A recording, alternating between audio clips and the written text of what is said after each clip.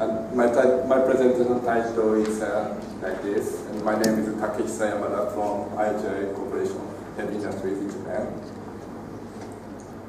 So uh, in this study, I'm focusing on ductile crack initiation and stress concentration parts before unstable fracture. As for evaluation of ductile crack initiation limit, the uh, relationships between equivalent plastic strain and triaxiality has been used and are dependent materials.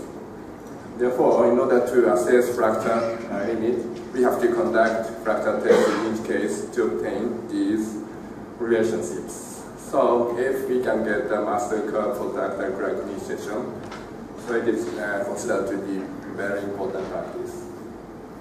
So in this study, we are focusing on uh, ductile crack initiation at high stress triaxiality conditions. Uh, investigate the characteristics of ductile initiation fracture uh, processes using three kinds of materials and discuss the application U parameter to evaluate ductile initiation limit without depending on materials. You can see the experimental uh, procedure, the material, materials used in the study are 400 megapascal class and 780 megapascal class steels and high strength aluminum alloys shown in this table. And uh, we use smooth and notch transfer specimen with different notch radius like this. And tensile tests, uh, easy tensile tests uh, were conducted under the condition of uh, strain uh, tensile and testing machine displacement control in air to temperature. So uh, I show you the analytical procedure in order to investigate the characteristics of the crack initiation limit, especially to get uh, triaxiality and plastic strain.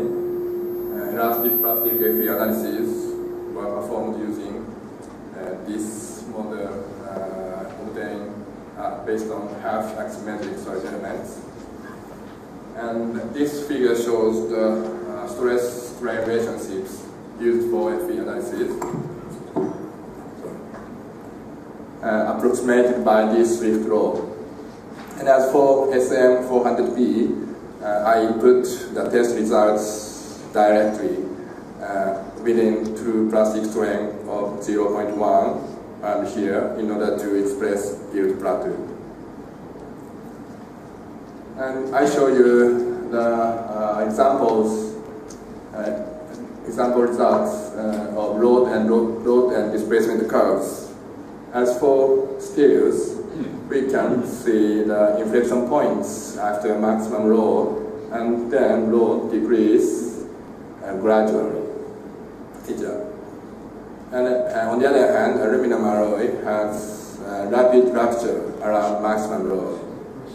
And then we can see the uh, experimental and the analytical results are coincident up to uh, inflection points. So here I uh, investigated the location of ductile crack initiation using cross-section observations after a loading near inflection point for each material. Uh, as for SM400B, the pre-strained material uh, we uh, separately was used for observation. So anyway, uh, as for steels, we can see ductile crack initiation is caused by coalescence of grown voids at the center notch section where triaxiality is maximal. On the other hand, the aluminum alloy has no grown voids and cracks shown in this figure. And uh, I show you uh, the conventional relationships between equivalent plastic strain and triaxiality at ductile crack initiation. As for aluminum alloy, the location of ductile crack initiation was not defined clearly, but uh, I evaluated at the center of notch section as well as steels. We can see the conventional relationships uh, dependent on materials, like here. And uh, I show you ductile fracture models the following three kinds of um, models, fracture models have been reported. At first, type A, such as iron and copper, is a model that voids are generated at early stage of deformation and growth, and the coalescence of relatively large voids in crack and fracture. And type B uh, is a model that voids are generated that grow like type A, and then uh, the coalescence of microvoids between the relatively large rhomboids result in cracks and rupture, uh, as well as steels used in this study, like this. And type C is uh, the model that little rhomboids are observed during deformation. And uh, a lot of microvoids generated at the early at the stage of deformation rapidly grow and that in rupture uh, shown uh, like uh, aluminum alloy used in this study. So here, from here, I show you the variation ductile crack initiation limit using strain hardening exponent to obtain single master curve. Uh, I try to apply the Mohr-Coulomb fracture criterion based on shear stress and normal stress, like this. And this criterion is reported to be applied to the evaluation of ductile fracture governed by maximum shear stress, shown here. So we uh, try to apply this criterion to ductile crack initiation limit uh, because uh, the ductile crack initiation of type A and B, such as steels used in this study, is considered to be caused by shear fracture at necking region between grown voids. And the processes of growth and coalescence of voids are uh, dependent on uh, sizes and densities of uh, primary voids and inclusions, but it was assumed that crack initiation is uh, largely affected by uh, fracture between grown voids. And uh, this fracture criterion can be developed like this equation using, uh, including stress triaxiality factor by BLSPP. Uh, and where theta is uh, called load angle, which is related to third stress invariant and dependent on specimen configuration and load type. And when this equation is solved uh, considering simple power law representation, we can get this equation including strain hardening exponent n. So we can get simple this equation, simple equation in the limited case for similar specimen configuration and load type because uh, load angle theta is considered to be uh, constant.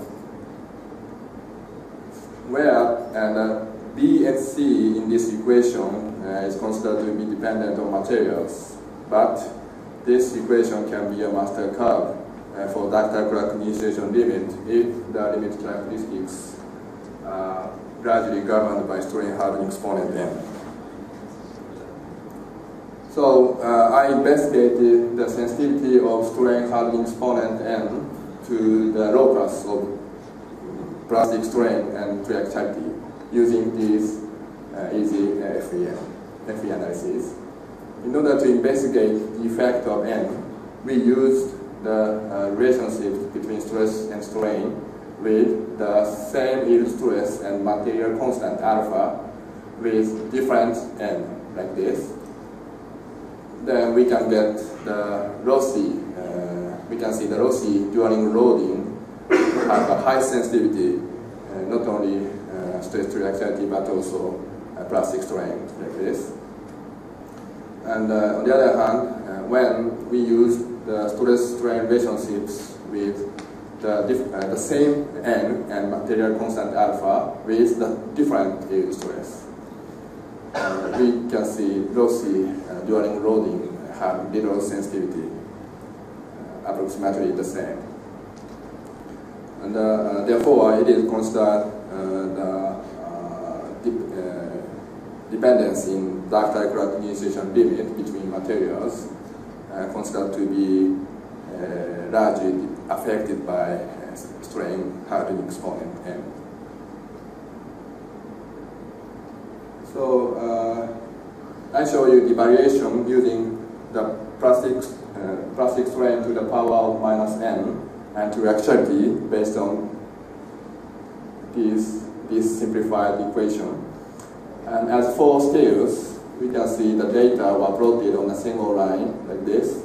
On the other hand, aluminum alloy were plotted uh, separately from steels. This is why the fracture model, fracture mechanics uh, is different from steels.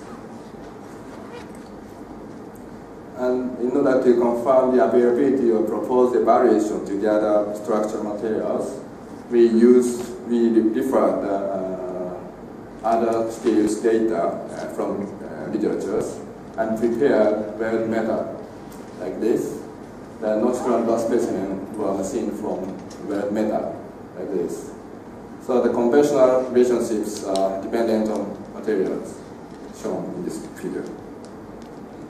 So using evaluation, uh, using my proposed evaluation, crack initiation limit for six kinds of steels, including a weld metal, can be represented by this simple uh, equation and a high stress reactant evolution, except alloy. So uh, this is the presentation, uh, this is the summary of my presentation. In order to investigate the variation of ductile crack initiation limit without depending on materials, we try to apply strain strain hardening. It has found that conventional relationships at ductile crack initiation are dependent on materials and as for steels, whose fracture processes are similar, ductile initiation could be validated by a single master curve using strain hardening exponent based on Mohr-Coulomb fracture criteria. And the unified evaluation including aluminum alloy and uh, uh, under the condition of lower stress triaxiality conditions is considered to need the other procedure and will be future work. Thank you very much.